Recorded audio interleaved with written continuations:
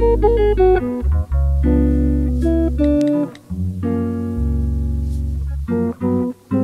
everyone, today I will be painting a peony and explaining my painting process. So grab a paintbrush and paint along with me, or grab a snack, sit back, and I hope you enjoy.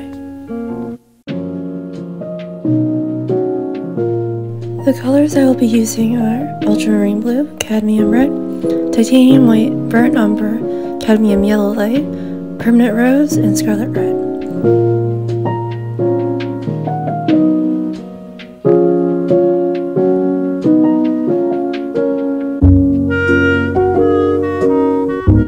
Using a pre-primed canvas, but I am giving it a light wash of water because I find it makes it a little easier to work the acrylic paint across the canvas. I start by outlining the peony and filling in the background with a layer of burnt umber. This is so I can get a better sense of what colors I need to use for the actual flower, and it makes it a little easier to get a sense of the size of the flower too. I'll put the reference image on the corner of the screen so that it'll be easier for you guys to follow along.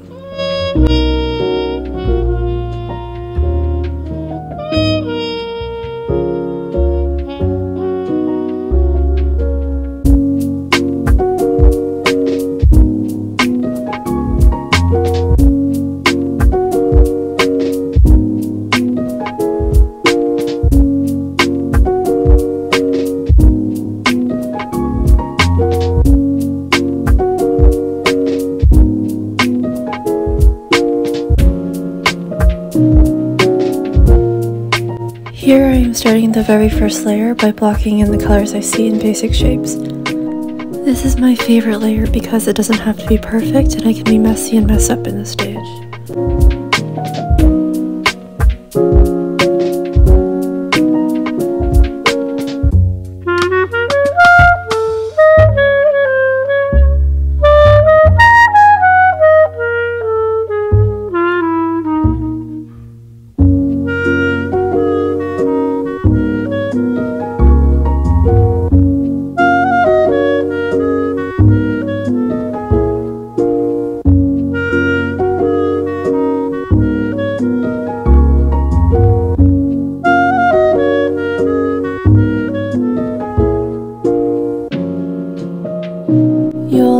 How the colors are a bit off and not as accurate as I'd like them to be. This was because I was scared of going in with harsh colors, but I realized that if I had just been a little bit more confident with my colors, it would have saved me a lot of time later in color correcting.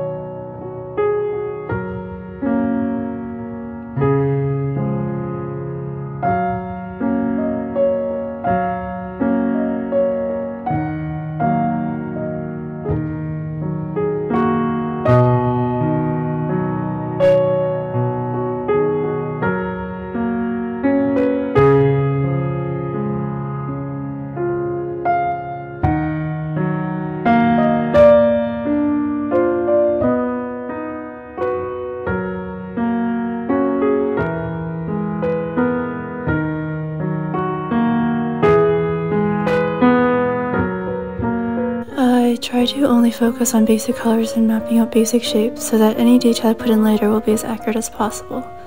So throughout this first layer, I try to resist adding in any details, and something that helps me is by squinting my eyes. This way I can only see the basic colors and shapes, and it also helps blur out any detail.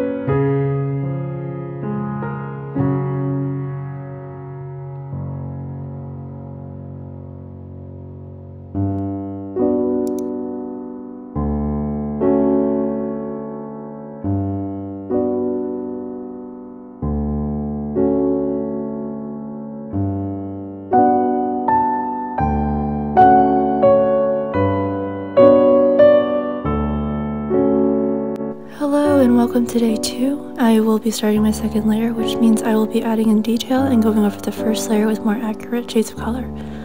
I find that most of my first layer gets covered up in the color correcting process because once I see the painting with a fresh perspective, I can see everything that needs to be fixed easier. That's why it's important to take breaks to step away from the painting and come back later to notice things that you may have missed before.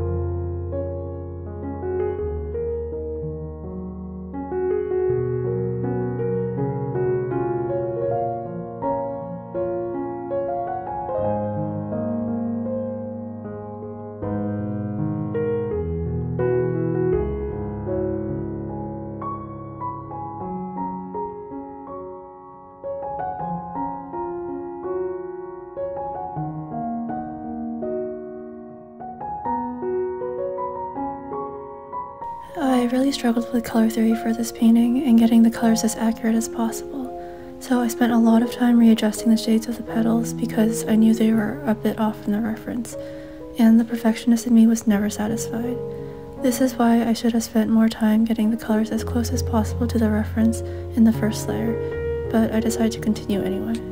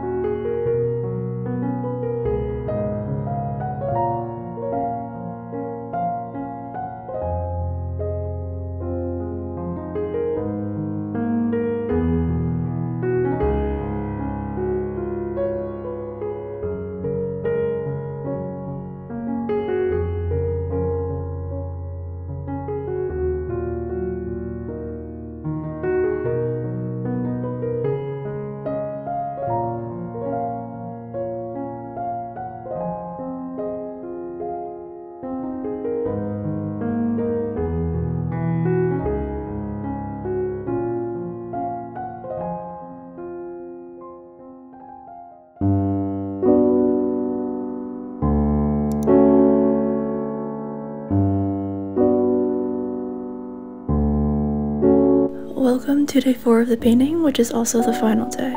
It was a nice day outside, so that's where I decided to paint. Something to keep in mind, however, is how the weather will affect the paint.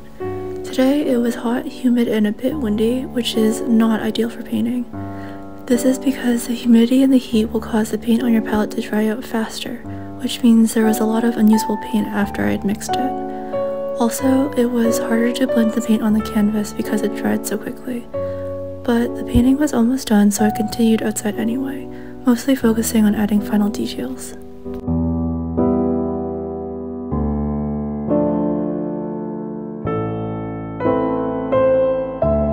I'd also like to add a little disclaimer here. I was able to get this painting done in 4 days because this was done during summer vacation, so I was able to work on this for about 8 hours per day. This was the fastest I've ever completed a painting, and the reason I had to work so quickly was because it was for a commission. On a normal basis, however, being this efficient would most likely not be realistic due to life and other responsibilities getting in the way. So don't compare your own progress to mine because everyone works at a different pace. Set realistic goals and be patient with yourself and your own painting process. And for my sanity and for yours, I would not recommend completing a painting like this in 4 days.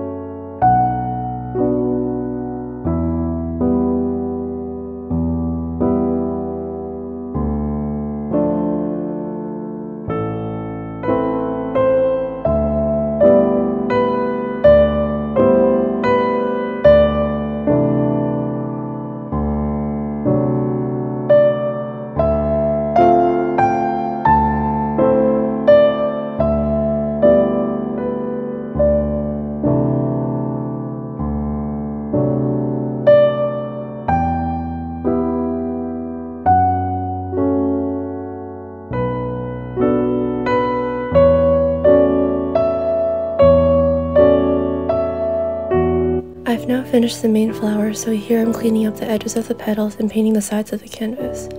To me, this is the most satisfying part because it means that the painting is almost done and it makes the edges of the petals look sharp and neat.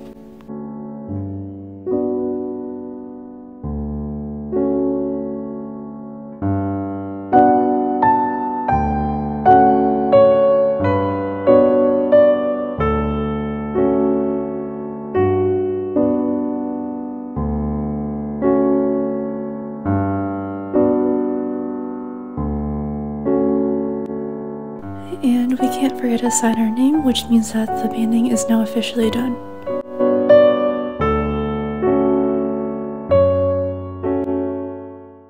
I'm really proud of this painting and how it turned out. And if you like this type of content and want to see more, make sure to let me know down in the comments below.